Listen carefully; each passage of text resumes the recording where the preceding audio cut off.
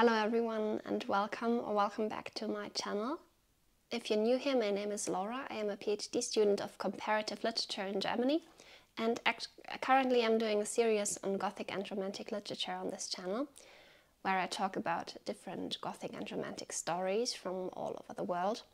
And today I want to talk about a very classic Gothic ghost story by Susan Hill. It's called The Woman in Black and was published in 1983, so it's a rather young Gothic story.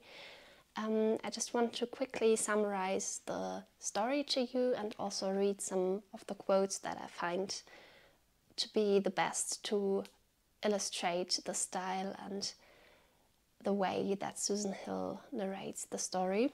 I've got the book here on my Kindle reader this is where I read most of my books because it's so handy and you can carry hundreds of books with you wherever you go, which is great, I think. So the story is about Arthur Kipps. He is a solicitor in England and one Christmas Eve he sits there together with his family and they are all asking each other to tell a ghost story and everyone's very excited but Arthur Kipps is reminded of a horrible event in his past and he tells about this event and he also tells the readers about this event. So what has been ha happening this when he was very young, he was sent to a very small market town in northeast England. It is called Crythin Gifford and he was sent there to settle the estate of the uh, widow Alice Drablow who recently died and he has to deal with all her affairs and at first he goes there to attend her funeral and at this funeral he meets a young woman in black. He's, she's dressed in black and she's got a very pale face and she looks rather ill and very irritating. And when he asks other people about this woman, they all react strangely and they don't really want to talk about it, which is already rather strange.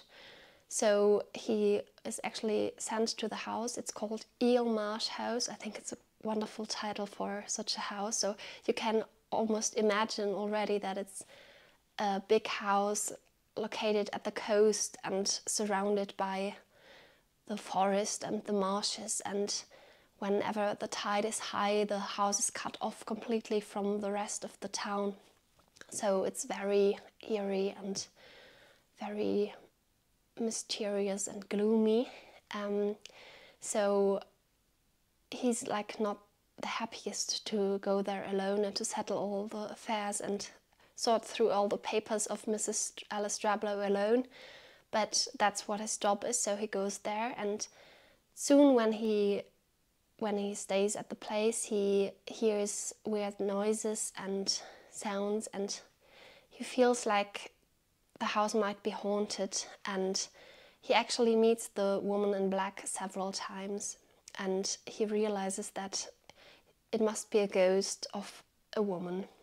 And I just want to read some passages to you because um, like Arthur Kipps, he wants to find out what has been going on at this place, what's the story behind this, why is there this ghost haunting the house and why is nobody in town really willing to talk about is why are they also reluctant and refusing to reveal any information.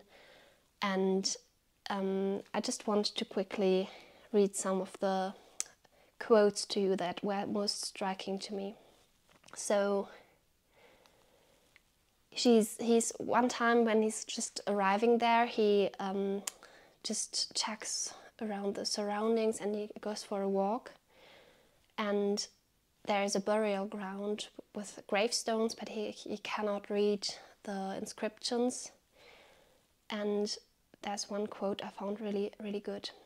But as I turned away, I glanced once again round the burial ground, and then I saw again the woman with the wasted face, who had been at Mrs. Drablow's funeral. She was at the far end of the plot, close to one of the few upright headstones, and she wore the same clothing and bonnet, but it seemed to have slipped back, so that I could make out her face a little more clearly. In the greyness of the fading light, it had the sheen and pallor not of flesh so much as of bone itself. Earlier, when I had looked at her, although admittedly it had been scarcely more than a swift glance each time, I had not noticed any particular expression on her ravaged face, but then I had, after all, been entirely taken with the look of extreme illness. Now, however, as I stared at her, stared until my eyes ached in their sockets, stared in surprise and bewilderment at her presence, now I saw that her face did wear an expression.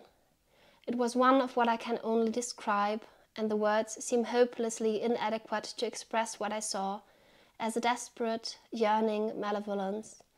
It was as though she were searching for something she wanted, needed, must have more than life itself, and which had been taken from her. And by this quote, you already get a glimpse of the tragedy that has been going on. So it's about this woman in black, and there's something that has been taken of her, and we don't know what, but we learn about it throughout the story.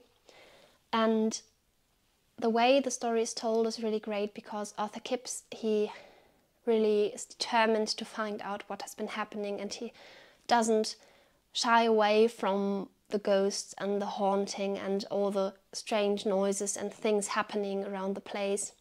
And there's a very friendly man, he's called Mr. Daily, Samuel Daily, and he um, lends him his dog just to, to accompany him during his stay at Eel Marsh House because this way he's not so alone and there's a living, breathing being that is warm and that he can cuddle, cuddle with um, whenever he he needs someone to assist him. And um, together with this dog, he explores the, the grounds, and there's really horrible things going on, and he's freaking out and creeped out after a while. I won't reveal anything more because, in case you want to read the story yourself and find out what has been happening to the woman in black, who is the woman in black, even how is she connected to the house, and what is the thing that she's missing. I really recommend reading the story.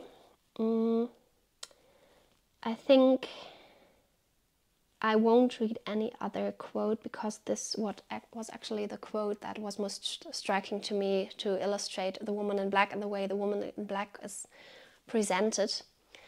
Um, it's really wonderfully written.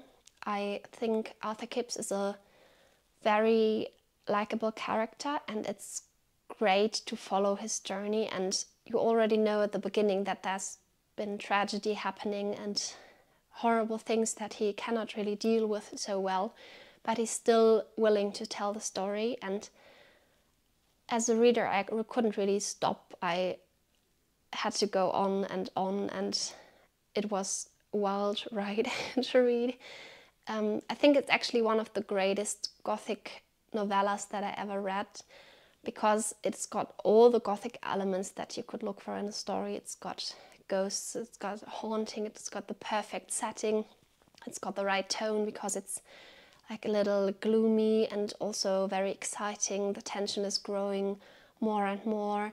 At the same time, it's calm enough so that you uh, can take your time as a reader to reflect on it and to um, think about everything going on and I think everything about it is just done great.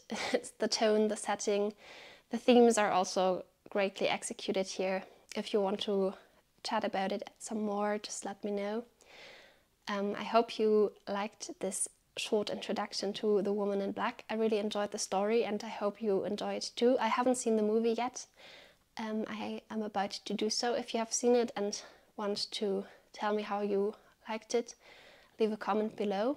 And if you haven't subscribed to the channel yet, I'd be glad to see you do that and see you in my next video, which will be about the Ghost Story Challenge by Mary Shelley, Percy Shelley, Lord Byron and John Polidori. Uh, see you next Friday and I'm looking forward. Bye.